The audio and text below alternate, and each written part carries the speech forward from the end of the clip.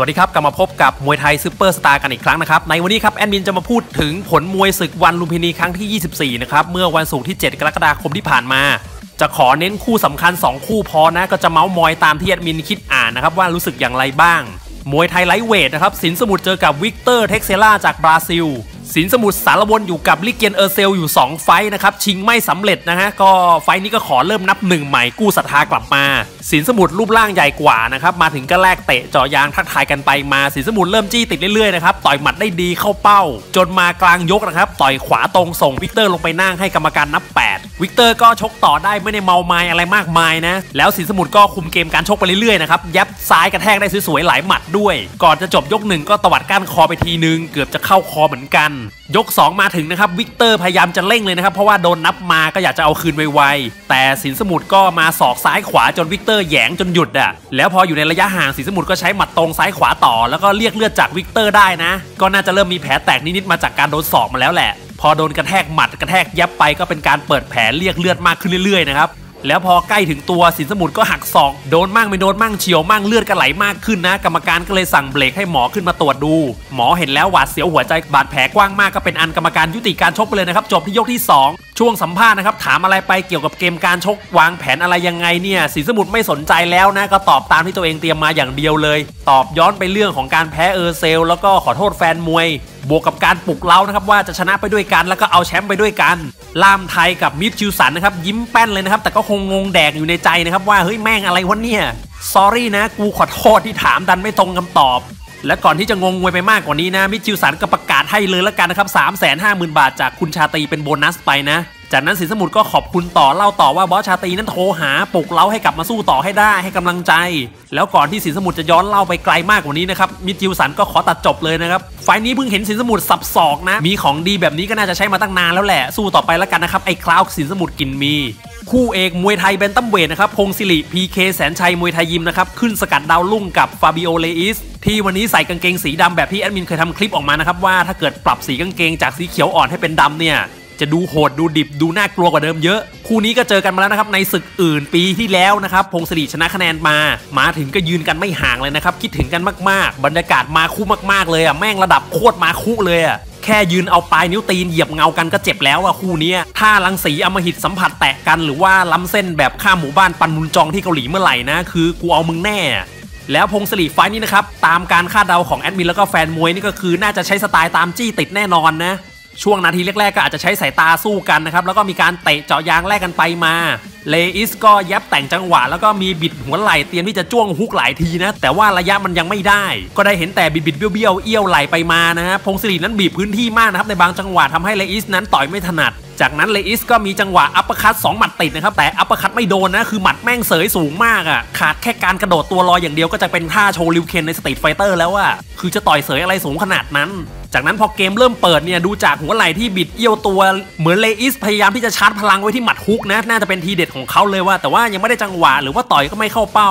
เพราะจะเจอจังหวะเดี๋ยวชิดเดี๋ยวห่างจากพงศิรินะก็เลยยังล็อกเป้านิ่งไม่ได้ แต่ก็ยังยิงหมัดได้น่ากลัวมากนะครับเข้าบ้างไม่เข้าบ้างก็แล้วแต่เลย นาทีสุดท้ายพงศิริเดินไม่กลัวนะครับแล้วก็จังหวะที่เลอิสต่อยนะครับพงศิริก็เหมือนซามูไรชักดาบคาตานะออกมาจากฝักดาบครั้งแรกอะคืองัดเอาศอกออกมาเลยนะสับครั้งแรกนี่ถากหน้าเลอิสไปหุดบิดเลยอะคือถ้าโดนนี่มีล่วงอะยก 2 พงศิริตามบทตั้งแต่ต้นยกเลยนะครับ เตะเจาะยางลำตัว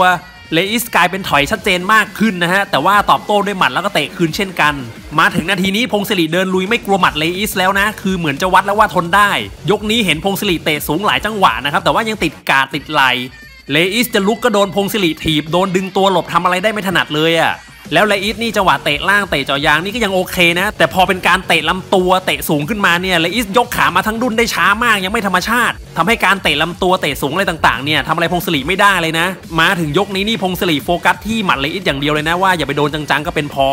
ยก 3 จะคล้ายๆ ยก 2 แต่ว่าจังหวะอาวุธจะถี่ขึ้นนะฮะ ออกมากขึ้นกว่าเดิม พงศิริก็เตะลำตัวสลับเตะสูงก็เตะมันตีเลยอะ่ะ ช่วงกลางยกนะครับพงศรีสับศอกอีกครั้งหนึ่งนะคราวนี้เลอิสถึงกับขาแกว่งเลยนะ จากนั้นอีกไม่กี่วินาทีนะครับพงษ์ศิริหวดขวาก้านคอนะครับมับเข้าให้เรอิสโดนกึ่งคางกึ่งคอก็ลงไปนอนหงายนอนคว่ำแล้วก็พยายามที่จะรีบลุกขึ้นมานะครับ กรรมการก็นับ 8 นะครับ ดอกนี้เรอิสโดนก้านคอดอกนี้นะครับ ถ้าเปรียบเทียบขำๆนะครับ ว่าเวรกรรมตามทันเนี่ย ก็ต้องย้อนไปช็อตที่เขาก้านคอใส่ฤทธิ์เทวดาจนฤทธิ์เทวดาร่วงตกสวรรค์กลายเป็นเทวดาเดินดิน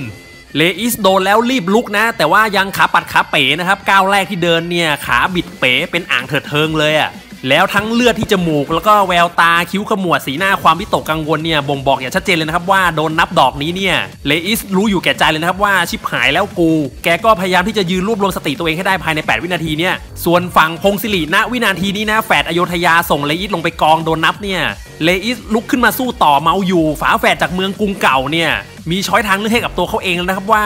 choice ที่ 1 เป็นกรุงศรี First Choice เนี่ยพงษ์ศิริจะตามเก็บกวาดล้างเรอิสเอาจนนับจนน็อกเสียมวยหมอบกระแตตุ๋ยไปเลยไหม